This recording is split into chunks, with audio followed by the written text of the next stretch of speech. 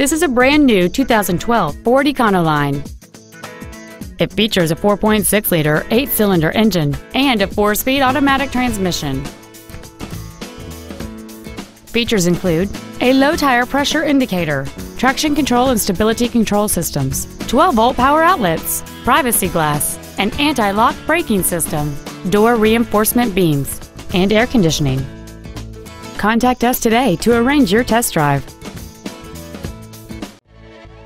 Auffenberg Ford North is dedicated to doing everything possible to ensure that the experience you have selecting your next vehicle is as pleasant as possible. We are located at 115 Regency Park in O'Fallon.